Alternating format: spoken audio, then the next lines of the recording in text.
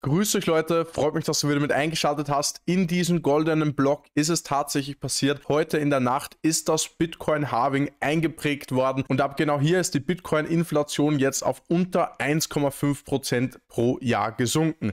Was wir aber deutlich sehen können, sind enorm hohe Bitcoin-Transaktionskosten. Im Halving-Block selber wollten sich richtig viele mit ihrer Transaktion verewigen und über 37 Bitcoin wurden an Transaktionskosten in diesem Bitcoin-Block bezahlt und seit da an geht es wirklich komplett steil. 4 Bitcoins, 16 Bitcoins, 29 Bitcoins und das wirklich stundenlang werden hier mehrere Millionen Dollar alle 10 Minuten an Minting Costs, an Transaktionskosten bezahlt. Und der genaue Grund dafür ist das Runes-Protokoll, die neue Art von Bitcoin NFT-Layer oder im Endeffekt Programm, wie wir Satoshis einzeln prägen können. Das Video zu Bitcoin Runes verlinke ich dir hier oben, ist ganz brauchbar für eine grobe Erklärung und Einführung in das ganze Thema. Und es haben sich in der Nacht schon extrem gute Chancen ergeben, wirklich dicke, dicke Profite mit diesen Bitcoin Runes zu machen. Ich habe es nämlich heute aufgenommen, aber pass auf, ich kann euch genau sagen, wie man es nicht macht und was ich bisher jetzt gemintet hatte. Und ich zeige dir, auf welchen Seiten, Marktplätzen man jetzt schon Runes handeln kann, neue minden kann und natürlich dann auch mit Profit verkaufen könnte. Denn ich selber habe natürlich die Bildschirmaufnahme laufen gehabt, während ich hier die ersten Transaktionen gesucht hatte.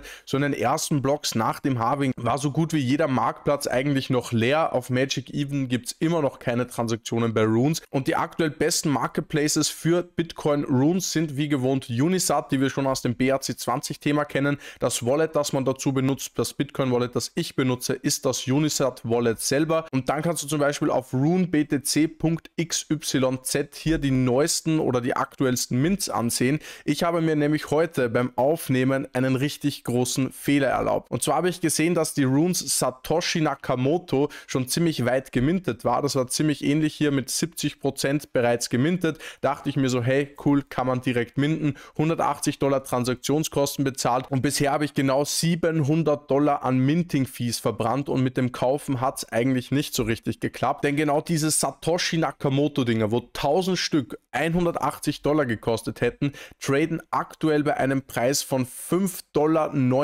und aus diesen 180 Dollar wären jetzt 5900 Dollar geworden. Aber ich finde die Token nicht auf meinem Wallet. Ich habe es mir nochmal angesehen. Um 11.43 Uhr war heute so die erste Transaktion, die wirklich auch in meinem Wallet registriert wurde. Und das war beim Minden von diesem Pepe Satoshi Nakamoto. Dann habe ich mir noch ein paar andere zum Spaß geholt. Auch diesen Wanko Wanko Runes. 10.000 Stück sind es hier geworden paar Minting-Kosten sind es halt, habe ich mir auch nur genommen, weil der schon so gut wie fertig gemintet ist. Und da kommen wir auch noch zu einer ganz, ganz wichtigen Erkenntnis. Die Bitcoin Runes Satoshi Nakamoto, die gab es nur zu extrem hohen Minting-Fees. Und der Mint ist auch schon beendet. Also jeder, der sich hier Tokens gekauft hat, hat quasi seinen eigenen Floor-Price mit den Minting-Kosten entstehen lassen, weil das Minten selber, das hat ich glaube, nichts gekostet. Ich hätte nicht mal gesehen, was es kostet. Und wenn du dir 1000 Dollar für 180 Dollar gemintet hast, ist es schon irgendwie so gut zu wissen, unter 18 Cent wird der Coin wahrscheinlich nicht fallen. Er ist ja auch bei 6 Dollar aktuell. Aber nur damit man ein Verhältnis hat, was es gekostet hat, die zu minden und was der Marktpreis aktuell ist. Und was ich mir aktuell denke, die Bitcoin-Preise oder die Bitcoin-Transaktionskosten gehen dann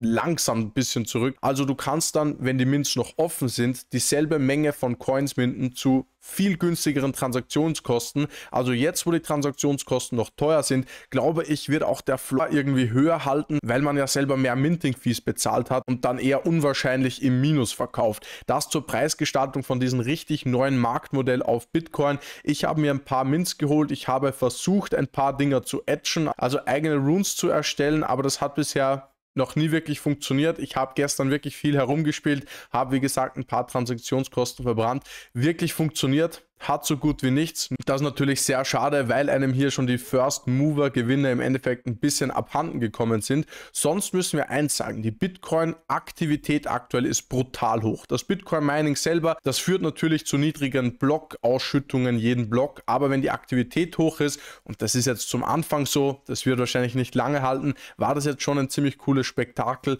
mit vielleicht dem ein oder anderen Retro Coin, den man hier mitnehmen kann. Und das, was ich jetzt aktuell mache, weil der erste Run-Up oder der erste Hype ein bisschen verpasst ist, quer durch die Bank einfach auf Zufall ein paar von diesen Stück gemintet. Schauen wir einfach mal, ob da überhaupt irgendwas dabei rausschaut. Und sonst habe ich eben noch meinen dazu eingeteilten Bitcoin-Betrag, um irgendwelche Sachen spontan zu kaufen, das Ganze einfach mal zu beobachten. Zum Bitcoin-Preis selber finde ich einspannend, hätten wir auf Altcoins diese Art von Transaktionsvolumen, dann wäre der Coin jetzt gerade durch die Decke gegangen. Der Bitcoin-Preis selber ist gestern einfach schon volatil gewesen, etwas nach unten gesunken, etwas nach oben wieder gestiegen und hat gar nicht wirklich auf das On-Chain-Volumen reagiert. Das kann natürlich noch kommen, aber das zeigt hier, Bitcoin ist ohne Runes, ohne natürlich diesen ganzen Extras wirklich auf 70.000 Dollar gestiegen im letzten Bull-Bear-Cycle. Und da habe ich persönlich für mich so die Erkenntnis gezogen, ich glaube, Bitcoin ist aus diesem Kindergarten eher schon raus und in die Investmentschiene aufgestiegen und ist nicht von diesen Transaktionskosten oder von diesem Hype on-Chain abhängig. Was man aber dazu sagen muss, wenn ein Hype entsteht, dann verdienen hier nicht irgendwie Ethereum Foundations oder sonstige Firmen dann tatsächlich viel Geld, sondern das Ganze geht wirklich hier eins zu eins an die Miner, die sich hier eine goldene Nase verdienen und das heißt auch, das Bitcoin-Netzwerk füttert mit seinen eigenen Hypes die eigene Sicherheit und das finde ich eigentlich eine richtig coole Erkenntnis, das ist zu Bitcoin zu sagen, richtig, richtig stark, auch wenn die Transaktionsgebühren ein bisschen runtergehen und Co. und vielleicht die Runes auch mal am Anfang nicht so heftig performen. Das wird wirklich eine Art von, das wird wirklich für mich eine Art von Coins sein, die ich wie die Ordinals auch in den richtig heftigen Korrekturen kaufen werde. Das hat jetzt im letzten Monat ein knapp 5 und 10x auf zwei verschiedene Ordinals Inscription Token gegeben bei Bitcoin auf BRC20 und ich glaube auch, der Hype ist zwar jetzt am Anfang groß da, das zeigt auch, dass viel Interesse eigentlich unter den Bitcoinern hier offiziell oder ziemlich offensichtlich passiert und da möchte ich auf jeden Fall den Fuß in der Türe halten. Ich finde es super spannend, was hier gerade passiert. Ein ausführliches Update zu dieser Nische. Was kann man kaufen? Was ist gerade interessant? Wo ist Potenzial da von diesem wirklich neuen Marktplatz?